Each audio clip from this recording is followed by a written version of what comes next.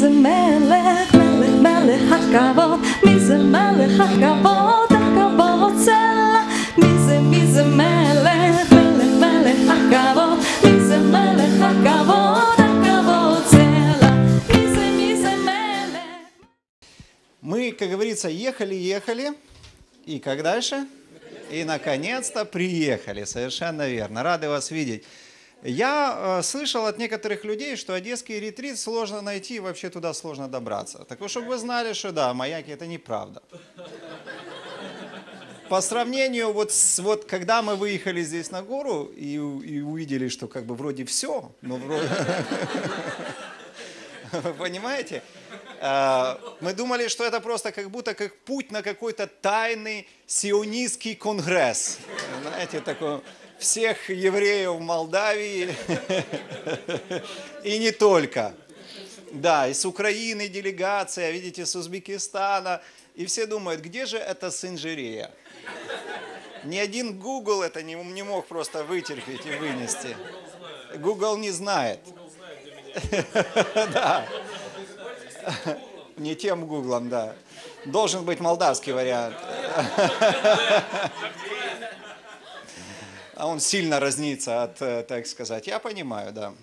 Просто на украинских даже дорог таких нет, вы знаете.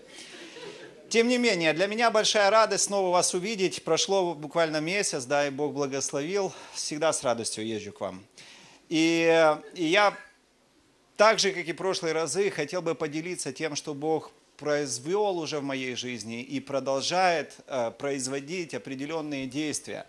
Но поскольку наш ретрит, на который мы собрались, наш съезд, так сказать, верующих Бога Израиля, э, он посвящен вопросам отношений между евреями, неевреями, да, и, так сказать, всеми составляющими или сопутствующими моментами этого служения. Сегодня я хотел бы поделиться э, вопросами, связанными конкретно, если говорить, о том месте, которое занимают неевреи в мессианском э, служении, в мессианской общине. Периодически мы с вами сталкиваемся с такими вопросами, да? А, Например, когда подходят к человеку и говорят, ты что, еврей? Было у вас такое? Вы начинаете свидетельствовать, а ты куда ходишь? Э, Ты говоришь, ну, в еврейскую мессианскую общину. Ты что, еврей? То есть по определению, если ты туда ходишь, ты должен быть... И вы знаете, я иногда видел, как люди, они смущались от этого вопроса. Да? Вам задавали когда-нибудь такое? Да? А кто смущался, честно говоря? Да, я не сомневаюсь. За тебя, Саша, у меня нет вопросов.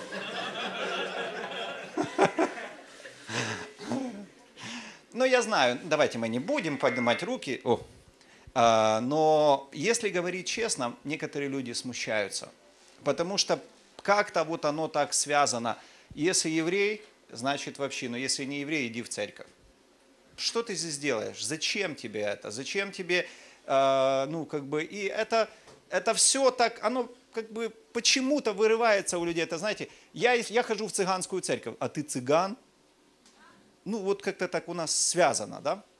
И я не буду сегодня говорить вам какие-то страшно там глубокие теологии. Я поделюсь тем, как Бог меня вел э, в моей жизни в этом служении и как Он мне открывал некоторые вещи. Для этого мне придется вам рассказать чуть-чуть своей жизни.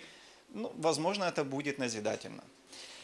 Э, Я, как вы понимаете, приехав с Украины, я тоже родился на Украине. Так случилось. Мой отец украинец, моя мама полька. И как я годами не бился на том, чтобы выискать какие-то, хоть капельку еврейской крови, чтобы приобщиться, знаете, чтобы прийти там к стене плача и сказать, это стена моего народа, ну, в том смысле, и понимать, что поплакать, да. Я, ну, как бы, ну, не смог. Даже в, в этой, этой зимой я был в Варшаве в специальном таком институте, знаете, где ты можешь как еврей восстановить какие-то свои корни. Ты приходишь туда, говоришь все расклады по фамилиям, кто откуда, где родился, мама, папа, и у них есть целые карты миграций.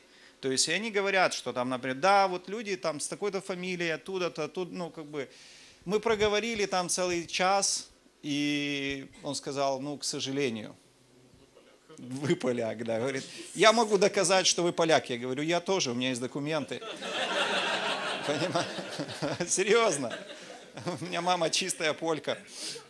Вот, итак, и мой отец, как я говорил, он был украинец. И моя семья была обычная советская семья, ничего религиозного, но на всякий случай в детстве меня родители покрестили в православной церкви. Я не знаю зачем, я был против, но они не послушались, я был маленький и покрестили. Вы понимаете, такое бывает в нашей жизни. Но так получилось, что э, родители мамы, поскольку они поляки тоже чистокровные, в родах они католики. Мы ходили в католический костел, храм.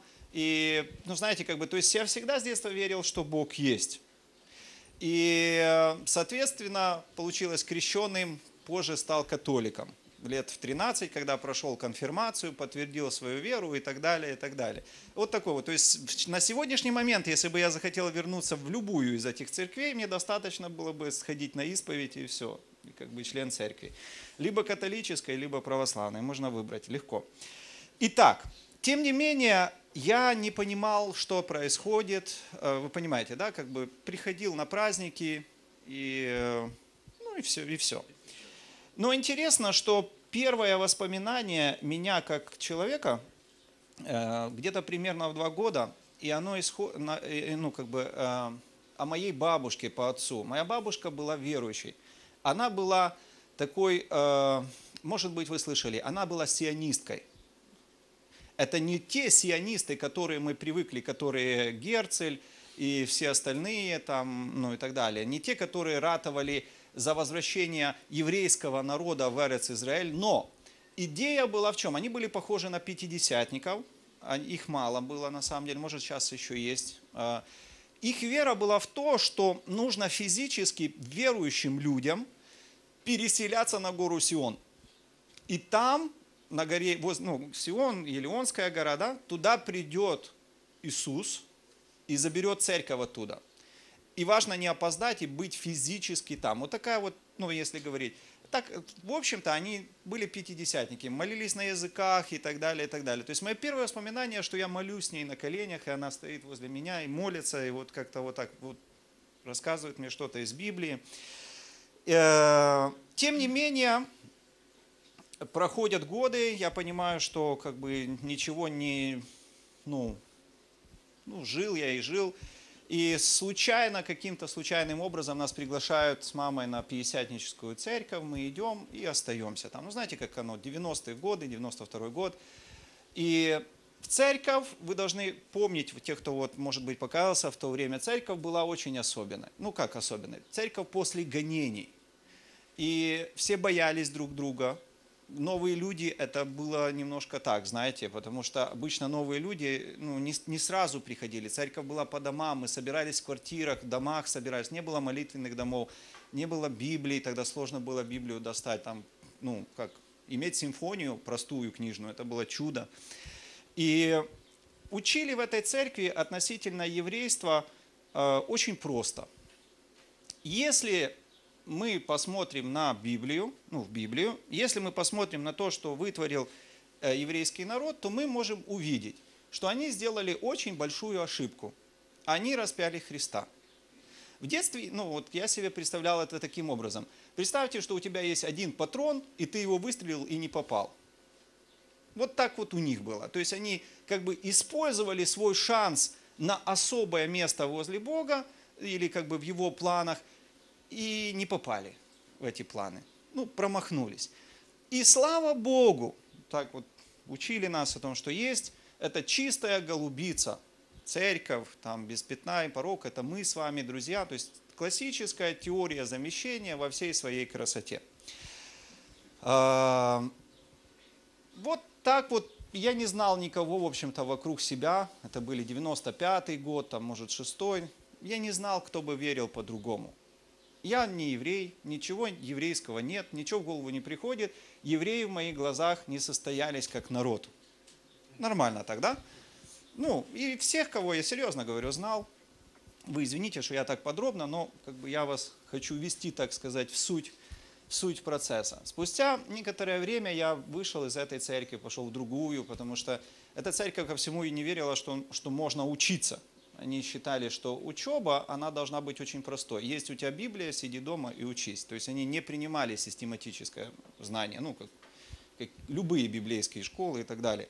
Я сильно хотел учиться, и поэтому как бы перешел в другую церковь, где было более спокойно к этому вопросу. И как-то так получилось, что Бог меня начал направлять э, вообще по разным институтам, я начал интересоваться. И мой взор, вдруг я так вот понял, что наши там знакомые одни учились вот в Одессе, в еврейском библейском институте. И я думаю, слушай, интересно, что это? Ну, как бы, я скорее воспринимал еврейство как некой, некую нагрузку к тому основному знанию, которое, собственно говоря, мне было нужно. Я понимал, что это что-то новое, это что-то интересное. Ну, на тот момент как бы и аналогов не было, да, ну и сейчас тоже немного как бы аналогов еврейского обучения, если. И я думаю, ну, поеду посмотрю. Посмотрел, вроде интересно. Ну, думаю, поеду поучусь. Да? Э, встретил вашего рэба там, он тоже поехал поуч, по, поучиться, тоже разобраться с большим удивлением. Да. Итак, и вот ты приходишь, сидит 50 человек, и все ж как бы вроде как в теме, да? Представьте, 2000 год. Кто помнит, это кемовские ретриты были вот где-то количество, вот может быть меньше, чем эта группа людей. Первый ретрит кемовский, в который мы попали, было 70 человек. И когда мы ну, приехали, я помню тогда всем институтам, это было как какое-то потрясение. Потому что вдруг невероятным образом Бог начал открываться в какой-то такой свободе. И это, может, вы, вы знаете, да, такое ощущение, некоторые говорят, что вот в мессианских общинах есть вот эта часть семейственности, открытости и простоты и движения Духа Святого. Хотя ты четко понимаешь, что люди перед тобой страшно непростые.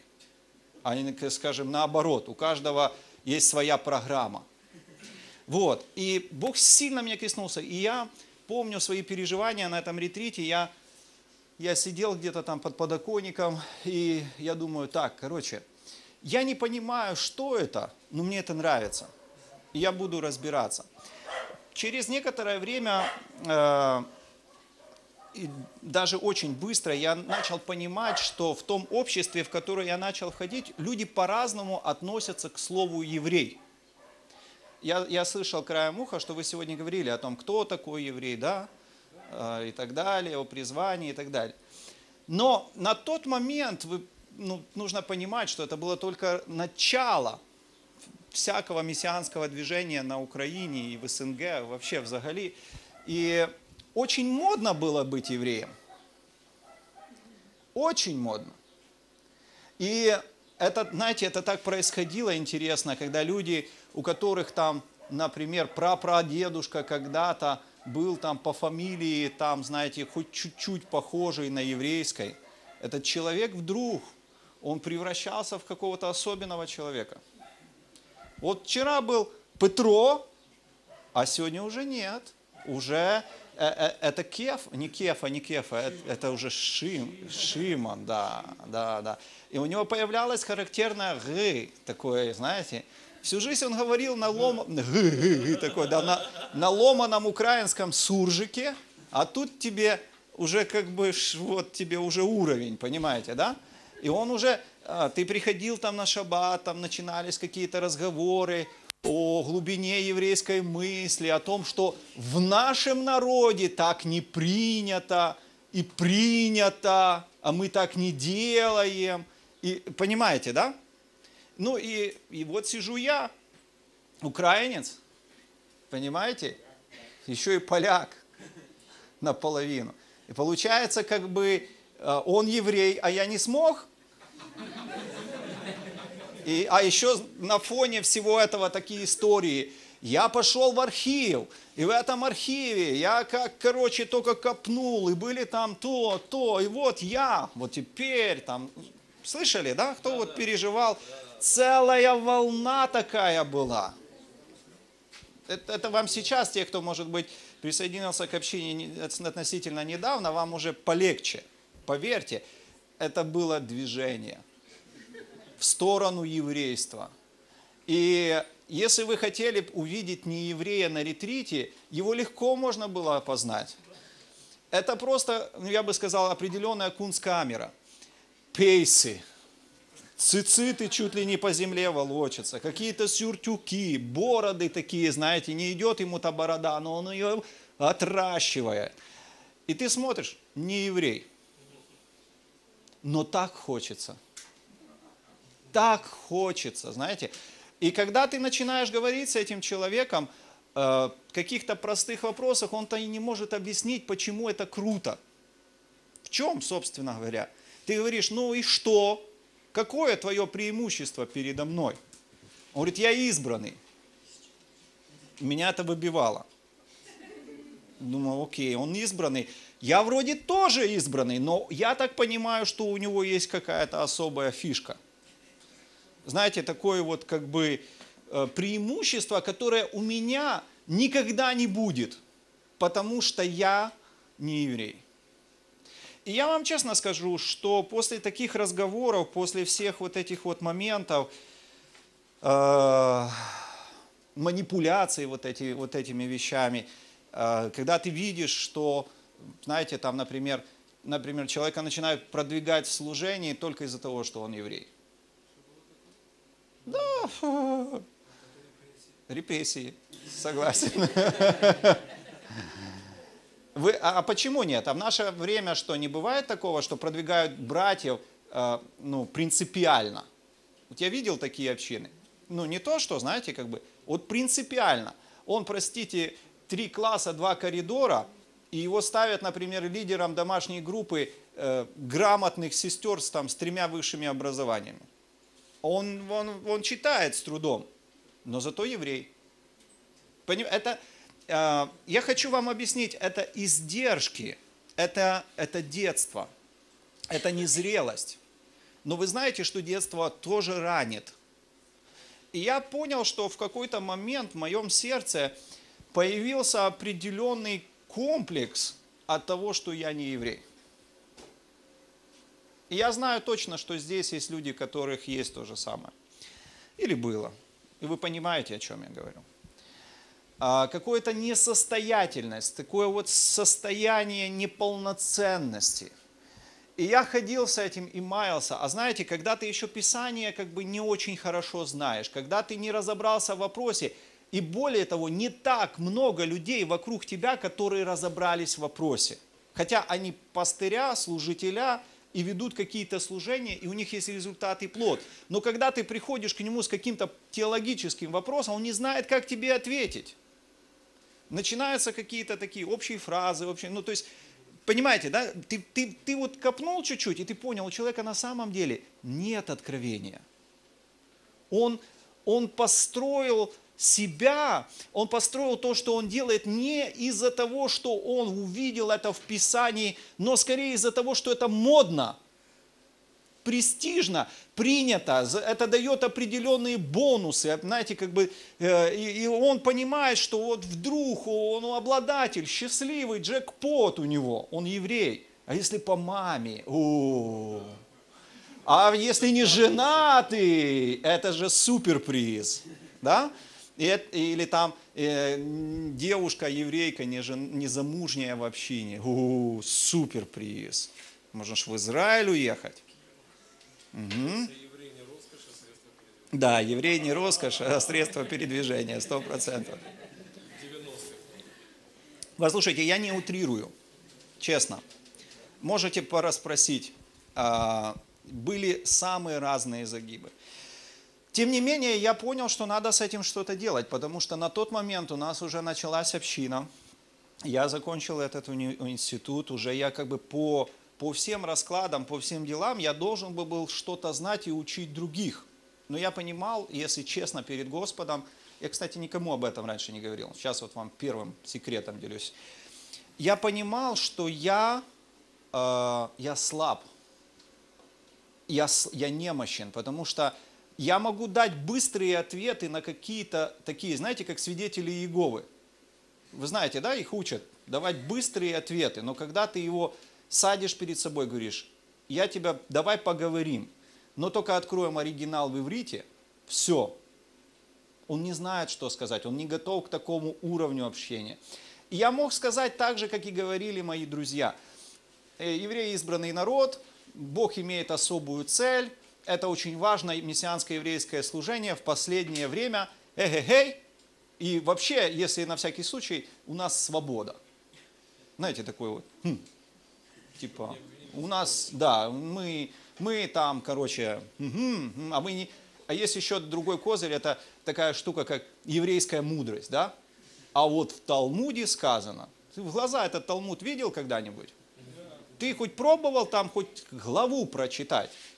Я вам скажу, я когда-то Загар нашел, если кто знает такая книга, это Кабалы, да? Я открыл, думал, боже мой, какой бред. Это откровеннейший бред, это даже не придумаешь, друзья. Понимаете? Но мы кидались вот этими фразами, не понимая источника, не понимая духа, за которым этим стоит. Э, мы стремились быть частью культуры, которая на самом деле отвергала Христа, осознанно, агрессивно открывала, отвергала Христа. Мы говорили, это нам надо. Вот это образ именно вот правильного еврея, образ именно человека, который посвящен и следует за Господом, часть мессианского служения. И я, я реально, я помню, что я пришел как-то там, я говорю, Боже, да открой мне через Писание это, я хочу рему, я хочу получить от Тебя, я не хочу придуриваться тем, что я занимаюсь каким-то делом как бы важным, но не понимать основу и сути этого. А вы знаете, когда, э, в чем разница, когда человек понимает и не понимает? Когда человек не понимает сути, он не готов жертвовать своей жизнью за это. В этом, в этом разница между пастырем и наемником. Пастырь знает, что это его родное. А наемник знает, что это просто его наняли, и он бежит от волка. Вы понимаете разницу, да? Когда ты имеешь внутреннее понимание служения еврейскому народу, оно пришло из Писания, оно именно как бы э, было построено Богом в тебе. И я не говорю здесь, что люди не важны. И важно, когда э, община, она участвует в этом процессе. Это правильно. То есть это строительство не обязательно будет только лишь через личное откровение, но также через служение, через нахождение в теле, через взаимодействие в теле. И в один из каких-то моментов такой вот я прочитал место, которое полностью меня освободило – 1 Коринфянам, 7 глава, 17-24 стих. Вы знаете его. 1 Коринфянам 7, 17, 24. Только каждый поступает так, как Бог ему определил, и каждый, как Господь призвал. Так я повелеваю по всем церквям. Призван ли кто, не, призван ли кто обрезанным, не скрывайся. Призван ли кто не обрезанным, не обрезывайся. Обрезание – ничто, и не обрезание – ничто – но все в соблюдении заповедей Божьих. Каждый оставайся в том звании, в котором призван. Рабом ли ты призван? Не смущайся. Но если и можешь сделаться свободным, то лучше воспользуйся. Ибо раб, призванный в Господе, есть свободный Господа, равно и призванный свободный есть раб Христов. Вы куплены дорогою ценою, не делайтесь рабами человеков. В каком звании кто призван, братья, в том каждый и оставайся перед Богом. я когда, я читал раньше, поверьте мне, не, ну, но я вдруг это увидел как рема в свою жизнь. Я понял, что я призван украинцем. И просто я понял, что я не должен никому ничего доказывать. Это звучит просто, но это освобождает. Вы знаете, когда эти слова говорились, это было очень особое общество, это было особое время. Вы знаете, что тогда было рабство. Не мифическое, а настоящее. И рабы были пустым местом. Но мы не видим, чтобы, например, э, Новый Завет, он призывал к верующим господам, тех, у кого есть рабы, э, ай-яй-яй, нехорошо иметь рабов, всех на волю отпустить. Вы должны, как вы можете, буржуазия, и там труд там и так далее. И, ну, понимаете, да? Никаких призывов к революции. Но, но, но послание направлено в том, что послушай, ты призван в том состоянии, призван Бога, Бог позвал тебя к себе в том состоянии, в котором ты есть. Если ты можешь освободиться, освободись. Воспользуйся случаем.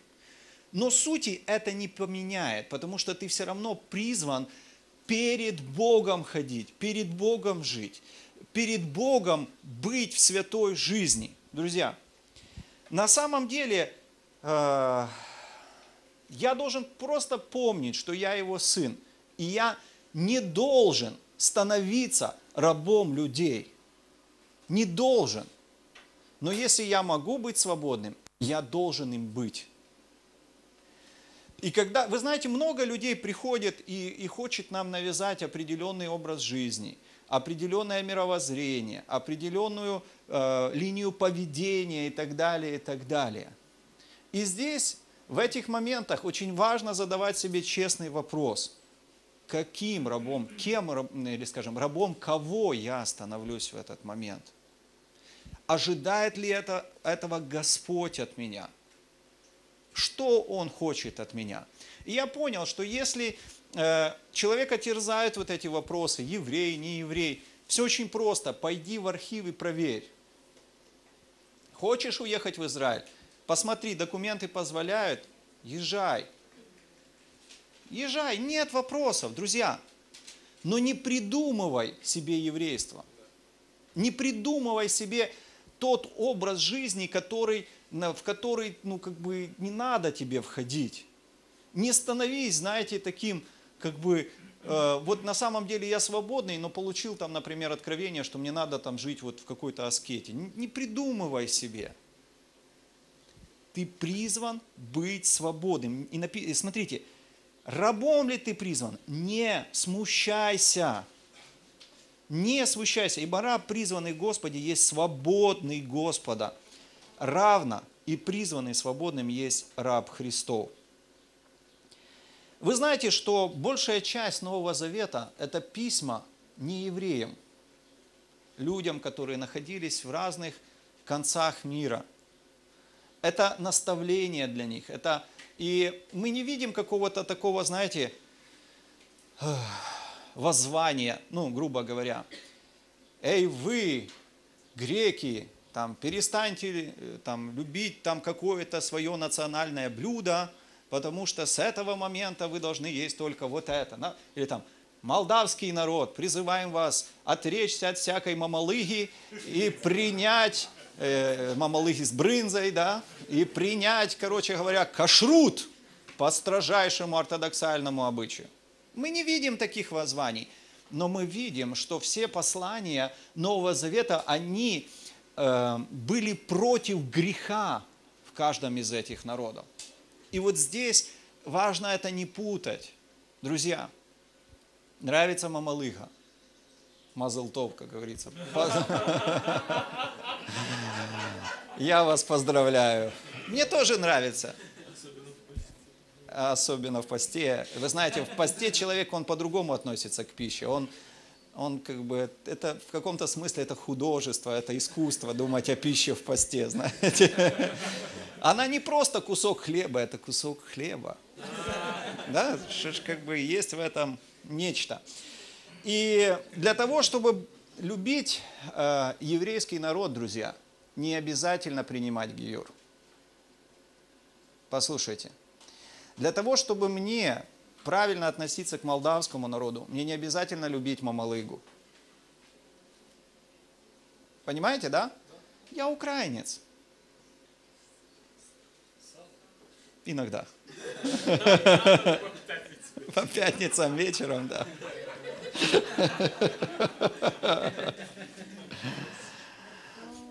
И я вам скажу, что есть разница. Разделение традиций народа и традиций кабалы – друзья. Я, думаю, я не знаю, о чем вы говорили в прошлой сессии. Возможно, вы задели эту тему.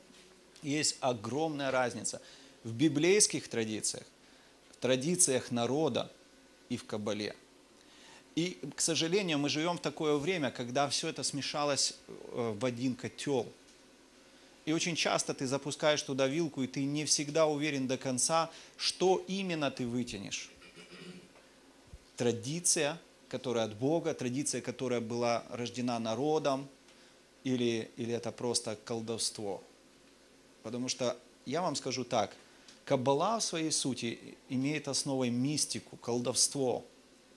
Друзья, это, это не игра, это все по-взрослому. Это все по-взрослому. Итак, когда я понял эти вещи, когда я понял, что в плане спасения нет разницы между верующим евреем и верующим неевреем, истина меня освободила. Я очень благодарен Богу за это. И в погибели, или, скажем, в пути погибели в гиену огненную, вы знаете, также нет разницы между веру, э, неверующим неевреем и неверующим евреем. Все погибнут. Просто э, вот услышьте это. Пускай он трижды еврей, пускай у него цицит волочится за ним три метра, как фата у невесты. Если он не знает Бога, если он не принял Ишуа как своего Спасителя, к сожалению, он пойдет в ад.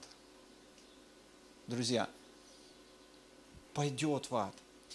Но как народ у нас есть наша идентификация, самоопределение каждого из нас. У молдаван одно, у еврейского народа другое. У нас у каждого есть своя земля. Да, даже границы есть между этими землями. Мы по-разному э, проводим праздники, мы по-разному радуемся, мы, ну, понимаете, да, есть культура. Понятное что, э, дело, что украинцы, например, с молдаванами живут близко, граница рядом. Ну, у нас очень много схожего. Мы когда заехали вот сегодня через Паланку, вы знаете, дома не поменялись. Везде грустно. Честно вам скажу, везде грустно, везде ты смотришь и хочется плакать, потому что ты понимаешь, что страна нуждается, да? И культура у нас очень похожа. Но, но если мы будем сравнивать, например, нашу культуру и культуру, культуру Узбекистана, я думаю, что большая разница. Правда, да? Как люди разговаривают, как ведут себя. Но это не мешает нам называть друг друга братьями. Друзья, это не мешает, не мешает нам иметь свободу и радость. И, ну, как бы, если я украинец, так что, брат должен жить культурой украинца? Нет. Но здесь мы приходим тоже к интересному моменту. Все же мы находимся в еврейской мессианской общине, да? И здесь есть важный фактор. То есть одно дело, когда мы говорим о народах, которые один здесь, другой здесь и так далее, и так далее.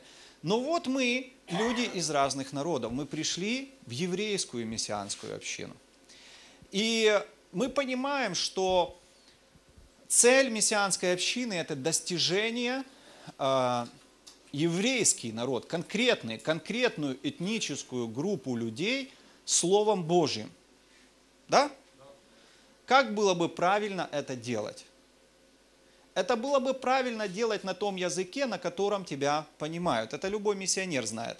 Читали, наверное, истории про миссионеров, которые ездили в Африку, где-то там, какие-то там Зимбабве, племена покоряли каких-то джунглях. И там такие страшные истории. И дают мне там тарелку с жуками, и я там кривился, но съел. И после этого вождь, короче, меня там поцеловал в десна, подарил шкуру леопарда и сказал, проповедуй. Помните, да, там и там название книги, там «Пробуждение в племени таком-то».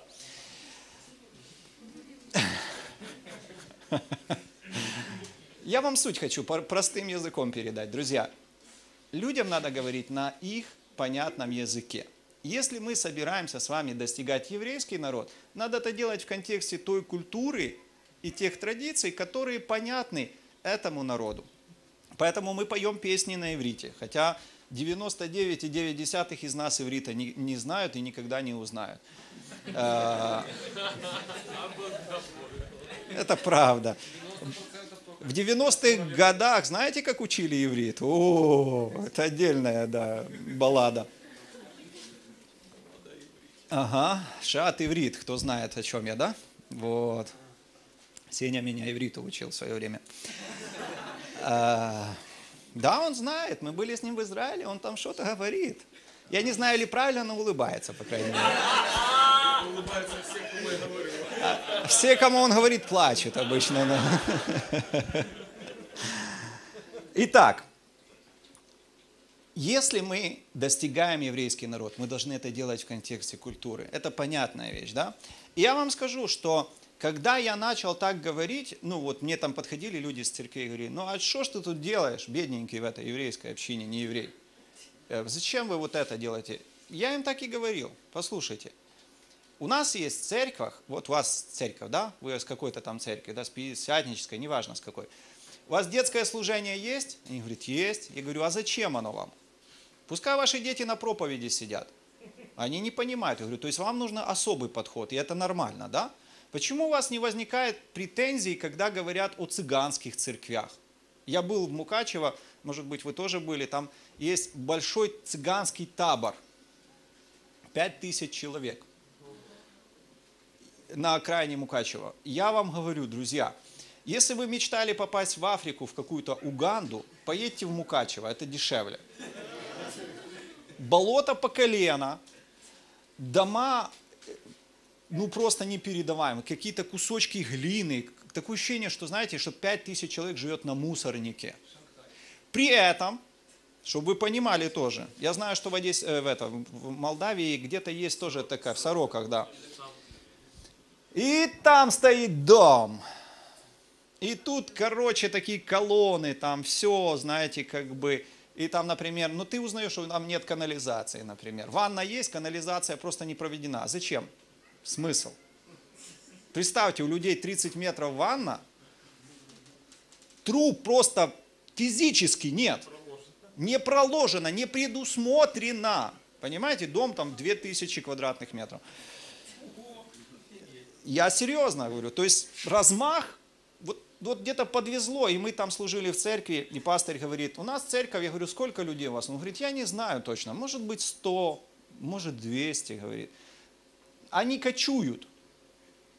А вот, говорит, специфика нашего служения такая, что он приезжает, на, все, все бизнесмены, они имеют безвизовый въезд э, в Венгрию, поэтому все, все бизнесом занимаются. Вот они приезжают в Венгрию, там, значит, берут товар, и все продают. Приезжает, весь табор гудит три дня.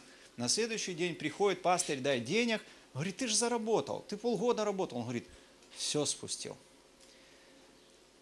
Специфика служения. Ни у кого не вызывает никакого возмущения. Нормально там поют песни на, э, на, на цыганском, на, рома, на ром, романском, да, они так как Рома, Рома, да, они называются, на цыганском, да. Там они проповедуют на цыганском, всем все нормально. Почему-то еврейские общины стоят на поперек. Ну, а что ж это вы так живете? Послушайте, мы люди из разных народов. Мы можем проявлять любовь и свое уважение э, ну, вот конкретной группе людей. Для нас нормально про, проявить любовь к детям, к молодежке, да, тоже создать им определенные условия – это нормально. Мы, мы, ну, почему это для нас должно быть проблемой? Друзья, я, может быть, говорю достаточно просто. Во всех этих вопросах есть очень много уровней разбора, что такое отождествление, и как оно может выражаться в том конкретном, кого считать евреем, не считать, там вспоминается Руф и так далее, и так далее. Я не хотел бы сегодня вдаваться вовнутрь, ну вот как бы самого процесса. Честно говоря, я сам до конца во всех моментах не разобрался, честно. Но то, что я понял, я этим и делюсь с вами. И вы знаете, это было всего лишь начало того, что Бог начал производить в моей жизни. В 2005 году так получилось, что я поехал в Польшу, и у нас было небольшое такое путешествие по разным концлагерям.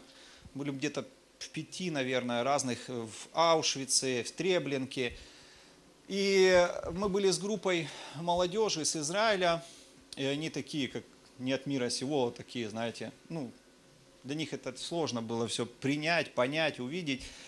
Но я не там смотришь, там кто-то плачет, кто-то там, знаете, там, ого-го, там, ну, как бы очень-очень близко все сокрушается тогда. Я ни в коем случае, ну, действительно, там есть чему посокрушаться.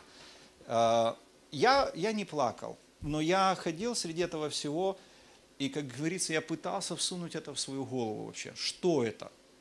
Вот, знаете, если вы попадете в Треблинку, на сегодняшний момент там ничего нет, там просто красивый лес сосновый, как вот под Киевом есть такие сосны, красиво. Но когда ты почитаешь историю, ты поймешь, что там погибло около миллиона человек.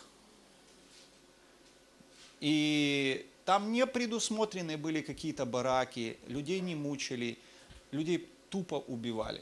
Восемь эшелонов в день, по две с половиной тысячи человек, около года. Понимаете? Это так кажется. Представьте, что такое 8, 8 э, эшелонов по две с половиной тысячи деревнями. Просто брали и уничтожали каждый день. И когда ты приходишь в Аушвиц, э, в Освенц, Биркинау, ты смотришь, вот так вот конца не видно этому концлагерю. Все ровно, красиво, все. И ты понимаешь, что это была какая-то невероятнейшая машина уничтожения еврейского народа. И там я увидел одну вещь я вдруг осознал, что большинство, знаете, как бы, как, ну, как бы, когда я размышлял о том, как можно оправдать это, я понял, что, возможно, я бы мог это для себя каким-то образом понять, хотя бы попытаться, если бы, знаете, как было, одна армия нападает на другую и уничтожает солдат этой армии, да? Солдат это опасная единица. Солдат может стрелять, нападать, там, обученный хоть как-то. Но здесь погибали не солдаты. Здесь погибали старики, маленькие дети. И там, знаете, есть такие стенды с фотографиями. Э, такие, ну, просто большие такие стенды, и ты смотришь. Это судьбы. Ты, ты стоишь и ты понимаешь, вот эта маленькая девочка, она выросла, она радовала маму. Папа плакал, когда она родилась. Мама плакала. Когда ты заходишь Э, вот примерно представьте, вот такая комната, она наполовину завалена волосами, а другая комната протезами. И ты видишь, большие, маленькие, а там полкомнаты завалено зубными щетками. Подумайте, зубными щетками завалить. Это не просто вот так посыпали, знаете, ими завалено. Завалено. И ты понимаешь, это была серьезная машина. И она была направлена не против опасных людей, с точки зрения войны, а против людей, которые имели для себя несчастье родиться с какой-то долей еврейства. То, чем мы сейчас выкапываем, выискиваем и, и ге, ге, понимаете? Люди прятали, вырывали, готовы были отречься от этого. Почему? Потому что их судьба была там. Отношение к еврейству было совершенно другим. И я осознал, что сатана, он имеет очень серьезные планы относительно еврейского народа. Друзья, это не просто какая-то игра в еврейство. Он не играл в еврейство, друзья. Он целенаправленно и грамотно старался уничтожить этот народ. Он старался полностью искоренить его – не важно твой возраст, не важно твое социальное положение, богатый ты, ты думаешь, что ты можешь откупиться, не можешь. В крематорий. В крематорий. И вы знаете, что когда я вот это понял, я вдруг начал думать, а что бы было, вот как бы я жил, если бы так случилось, что ну, вот я был бы в то время – вот я бы жил в там 43-м году, как бы я жил? Что бы было, если бы я жил в каком-то доме, и тут там мой сосед Иосик вдруг постучал и просит, спрячь меня. И послушайте, Одно дело как бы гипотетически, другое дело я себе вдруг представил это, по-честному. Я верующий человек, уже 20 лет. Я, я, я себе задал честный вопрос, что я бы сделал? Я подумал о своей жене, я подумал о детях, я подумал о себе. Но знаете, когда ты еще сам, ты как бы сам собой рискуешь, да? А, а, а это же ж непридуманная угроза. Все будет очень жестко. И не факт, что ты умрешь быстро. И твоя семья умрет быстро, знаете, типа там тых-тых и на небо. М-м. Все может быть очень грустно. И я себе спросил, пущу ли я этого еврея к себе? Как я себя поведу? Вы знаете, кто-то сказал о том, что ответить на этот вопрос – это значит солгать. я думаю, что отчасти это правда. Потому что э, история знает различных людей. Были те храбрецы, которые во время, знаете, такого мира, они говорили там, да подавайте мне там, короче, всех постреляйте, фашистов, да, да, да, начиналась война, дезертиры. Были те, которые молчали, такой серый, серый человек, знаете, незаметный, но они становились героями. Периодически я читал какие-то там, знаете, истории. Красноармеец Вася Пупкин один саперской лопатой там удержал, там чуть ли не 50 человек положил. Простой сельский парень, который университетов не заканчивал, но герой. Расстреляли парня, ну потом немцы, конечно же, но 50 человек он убил. Вот, ну, понимаю, я примерно вам говорю, да? И для себя я понял, что это очень серьезный вопрос. А, интересно, что в тот период времени были люди, которые не закрывали глаза на все то, что происходило. Вы знаете, что во время Холокоста были также верующие люди? Знаете, да? И я вот начал о них размышлять, потому что, ну, по идее, это те, у которых мы могли бы поучиться с вами и, знаете, как бы перенять какой-то опыт. Они же что же, они же люди были, они же боялись, они же за себя, за детей. Ну, это страшно, друзья. Это, ну, это реально страшно. Не, это не просто приснилось что-то. И интересно, что я вспомнил, что были такие, и до сих пор мы знаем таких людях, как это праведники мира. Слышали, да, о таком понятии? И я хотел бы немножко больше вам рассказать об этом. Э, на сегодняшний момент около 18 тысяч человек получили звание праведника мира. И в разных странах, э, в основном это были люди в европейских оккупированных странах. Э, в разных странах эта цифра самая разная. У меня есть небольшая статистика по этому. Например, Польше таких человек 5 тысяч человек, в Голландии 4 тысячи, во Франции 2000, на Украине 1600, 1200 а, в Бельгии и так далее. То есть дальше уже ну, цифры немножко меньше. А, я понимаю, что не все из них были верующие, мягко говоря. Большинство из них было неверующих людей. Но каким-то невероятным образом у них хватило вот этой смелости, хуцпы и отваги посмотреть на чужой народ, гонимый, презираемый. Нужно вспомнить, что на тот момент общая мировая политика, она была противоеврейской, а, а антисемитской.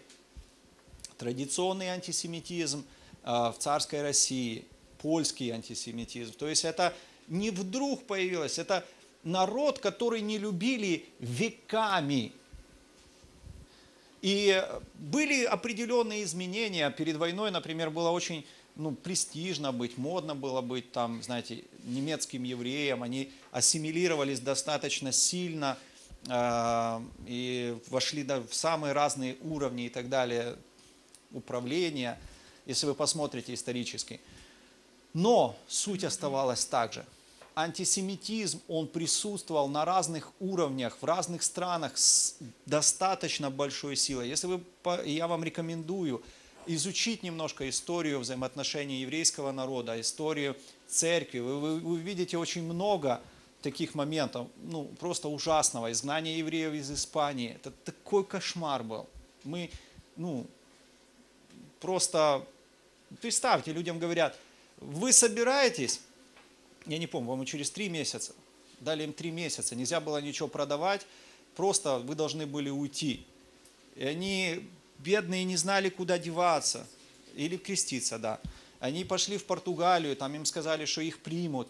Их приняли ровно до границы, а потом сказали все то же самое. Либо вы креститесь, либо, короче говоря, мы вас... Э, забирают детей. Представьте, забрали, я не помню сколько, может быть, ну, не помню точно, достаточно большое количество детей, маленьких, самых у матерей, отцов, неважно социальный статус, отправили их на остров, такой был Санта-Ме, да, и там остров был, только его открыли португальцы, населен разными всякими ящерицами, змеями, всякими. Представьте, вот приезжает корабль, приплывает, и всех этих детей вот так просто вышвыривают, а туда ссылали португальцы беглых каторжников, преступников, как тюрьму его использовали. Представь, представьте просто, да? Это, ну, традиционно народ не любили. Но эти люди, праведники мира, почему-то делали такие шаги.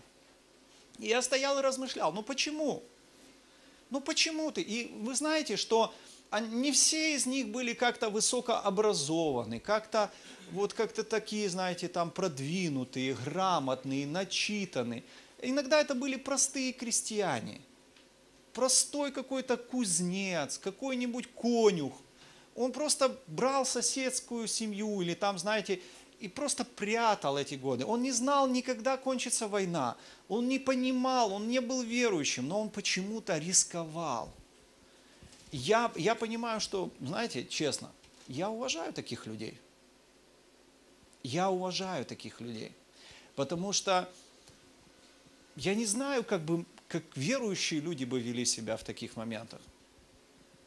Возможно, бы мы начали говорить о спасении, о том, что в первую очередь надо помогать своим по вере, да, там еще бы. Ну, я думаю, чтобы придумали, возможно, какую-то теологию для того, чтобы не помогать. И тогда была она придумана. И мы иногда читаем, вы можете найти такие истории пастыря, который был возле а, Треблинки. Он говорит, что мы каждый день видели, как поезда уходили в Треблинку – но в этот момент мы просто старались громче петь наши гимны, потому что мы понимали, что что-то, ну, что там зло, но мы не хотели быть частью, быть среди тех, кто спасает еврейский народ. Мы не евреи, извините, мы верим в Христа, как и немцы, э, как бы и все. А это вот так вот.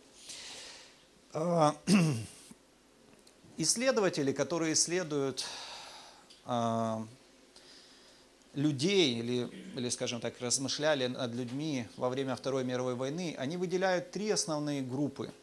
Это те, кто были преследователями, те, кто были жертвами и те, кто были коллаборационистами или приспособленцами. Преследователь, жертва, приспособленец – три категории людей. И я себе задал вопрос, кем бы был я? Честно. Это вопрос, который не надо задавать. Знаете, это не такой вопрос, что я... Вот скажи, а ты мне быстро ответь. Это вопрос задайте себе перед Богом. Кем бы был я?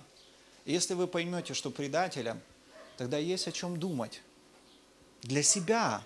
Послушайте, если ты поймешь, что лучше быть приспособленцем, есть о чем думать. Или жертвой. Просто опустить руки и сказать, ну что можно было поделать в этом мире. Эти люди, 18 тысяч, они так не поступили. И они спасли много людей. Мы знаем Шиндлера, да, такой, ну, более как бы известный. Ну, кроме Шиндлера были, были, были люди, которые тоже сделали очень много. Были послы, которые рисковали э, вообще выдали огромное количество виз липовых и документов для того, чтобы спасти. И есть определенные категории, по которым считают человека праведником мира. То есть, когда размышляют о том, кого можно ввести в эту категорию, ну, есть стандарты, по которым считается. Такой человек, э, то есть кто такой праведник мира с точки зрения вот, э, еврейского государства? Это не еврей, который помогал еврею в ситуации, когда тот был полностью беспомощен, и ему угрожала смерть или отправка в концлагерь. Оказание такой помощи представляло, ну то есть следующий критерий, оказание такой помощи представляло угрозу собственной жизни, безопасности или свободе спасителя. То есть помощь евреям, согласно нацистскому законодательству, относилась к числу тягчайших преступлений. Следующее. Спаситель не обуславливал свою помощь материальным вознаграждением или какой-либо значительной компенсацией. Факт, следующее. Факт спасения или помощи может быть подтвержден либо самим спасенным, либо достоверными свидетельствами очевидцев, либо же при их наличии надежными архивными документами. Следующее. Помощь, оказавшаяся, оказавшаяся неевреями, э, неевреями евреям, могла быть различной, но в основном она сводилась к одной из следующих четырех категорий. Предоставление убежища в собственном доме, либо укрытие в таком общественном или э, религиозном учреждении, которое могло обеспечить достаточно надежное, защищенное от внешнего мира и скрытое от посторонних глаз убежище – Обеспечение еврея возможности выдать себя за нееврея посредством предоставления ему фальшивого удостоверения личности или свидетельства о крещении, выдаваемого священнослужителем и служившего законным основанием для получения официального удостоверения личности. Помощь еврею в осуществлении бегства в безопасное место или за границу. При этом оказывалось, как правило, содействие в преодолении тех опасностей, с которыми были связаны поездки на порой значительные расстояния по оккупированной территории и переход границы. Следующее. Временное усыновление, удочерение еврейских детей в период войны. Вот такие критерии. И среди всех этих спасителей было немало христианских служителей. И они действовали в соответствии со своими убеждениями.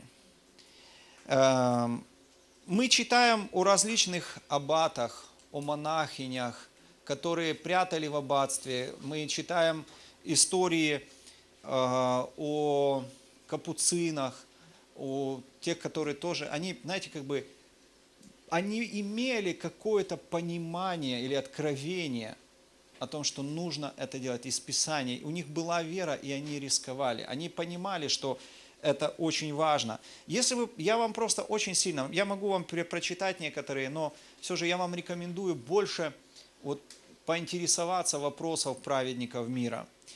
И вы знаете, с точки зрения э, еврейского народа, эти праведники не евреи. Уничтожение всемирного плана уничтожения еврейского народа хоть одного ребенка, хоть одного взрослого, хоть одного старика, хоть, хоть кого-то.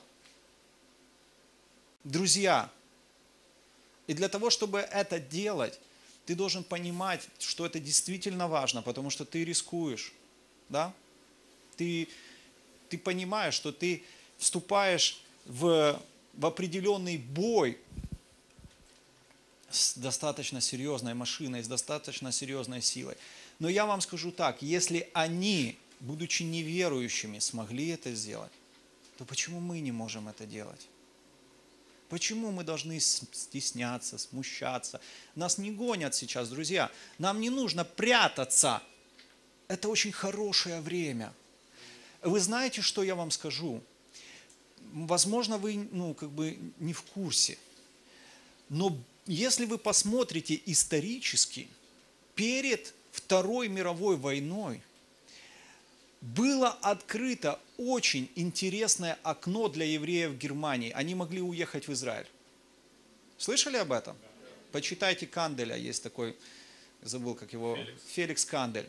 Очерки времен и событий. Шикарнейшие книги. Я вам просто очень рекомендую. Более того, одно время немцы их выгоняли, и никто не ехал, ну, поехало там что-то несколько тысяч человек.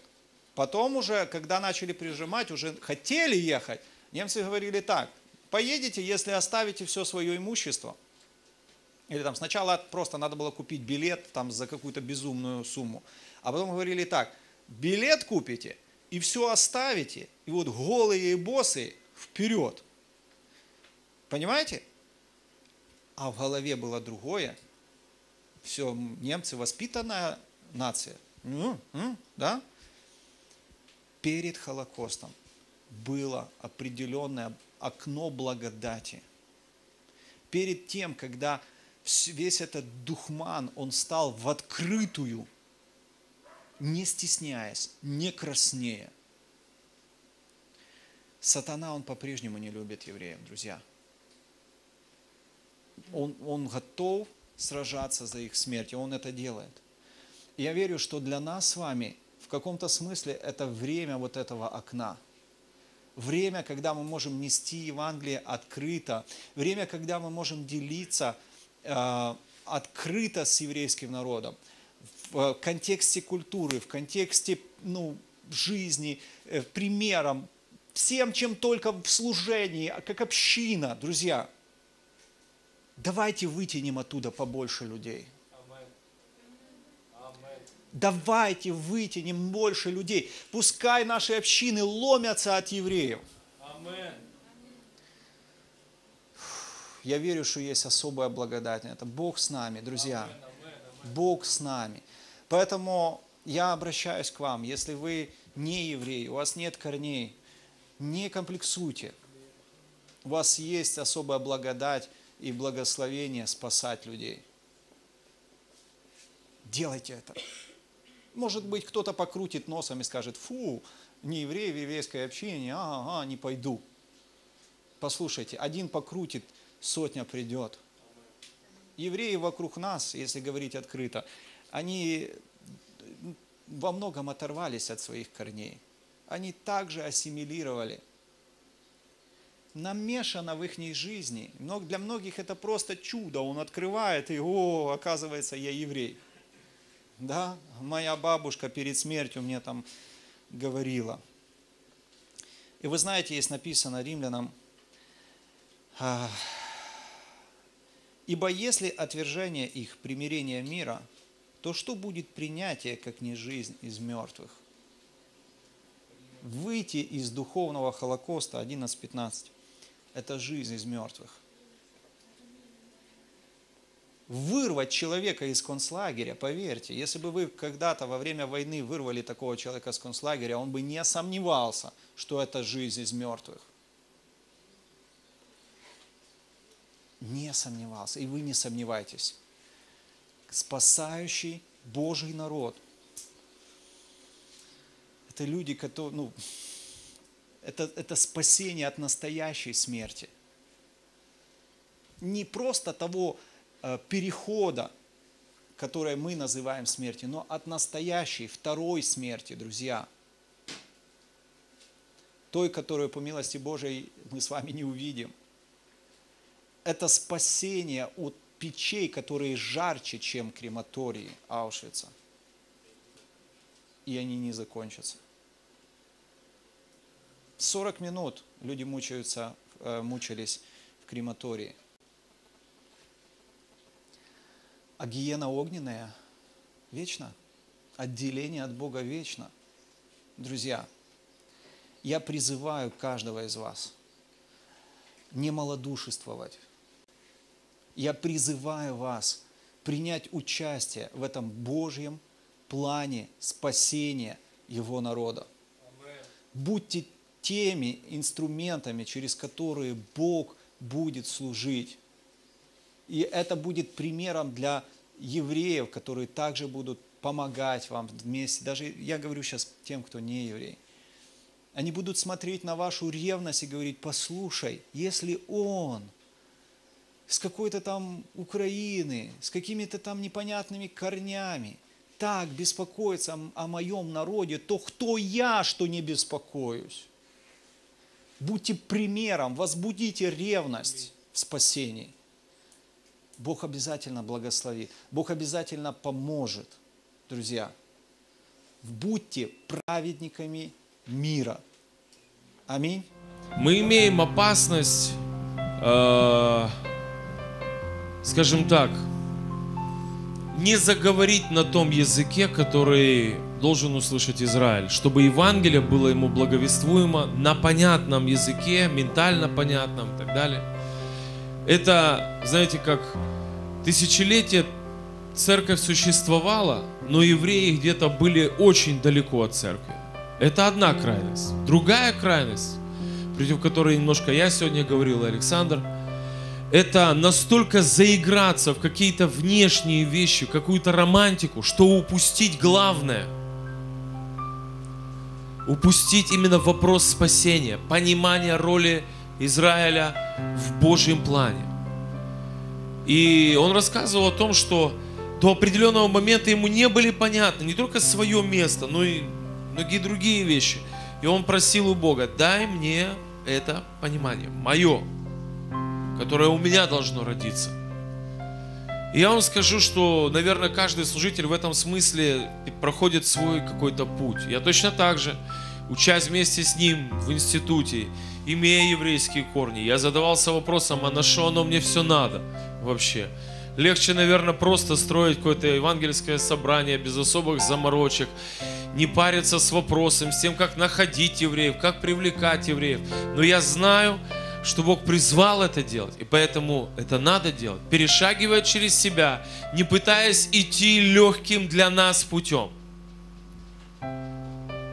Научась говорить тем образом, который будет понятен еврейскому народу. И поэтому мы хотим, с одной стороны, вот Александр очень хорошую вещь сказал. Есть библейские традиции, есть народные традиции, есть чисто вообще талмудические, религиозные какие-то вещи. И все это нужно проверять, чтобы не заиграться, чтобы не начать замаливаться о непонятных вообще каких-то вещах.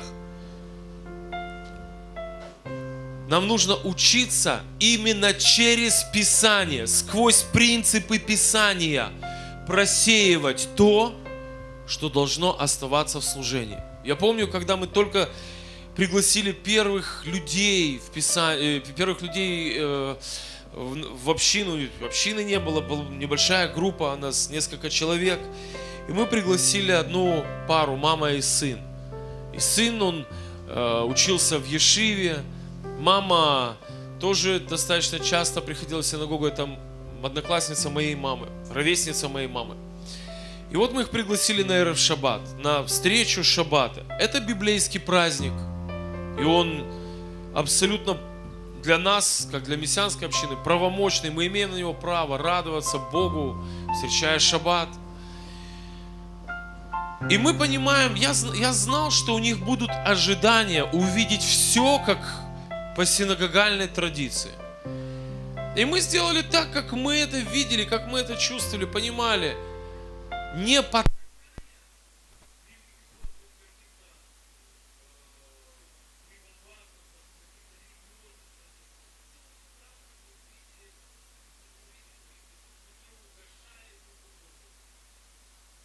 И они сразу сказали, а вот в синагоге не так. Я говорю, знаете что? А мы не копируем синагогу. Мы не собираемся копировать синагогу. Потому что там много вещей, которые придуманы людьми. Ну, я не пытался там объяснить а, какие-то духовные вещи. Но я говорил, как есть. Говорю, там есть много вещей, которые придуманы людьми, и их нету в Торе. Вот и все. А, да, да. А, и как-то им стало все достаточно ясно и понятно. Без лишних объяснений. Ну, как-то так приняли, без всяких напряжений. Говорю, поэтому мы встречаем шаббат, празднуем шаббат, как наша часть нашего наследия, но делаем это вот таким образом. И вы знаете, наша задача пройти тем путем, который Бог проложил для общин. И мы еще сегодня, после небольшого перерыва, снова будем славить Бога, поклоняться, встретим шаббат и будем продолжать изучать эту тему. זה מלך, מלך, מלך הכבוד, מי זה מלך הכבוד, הכבוד רוצה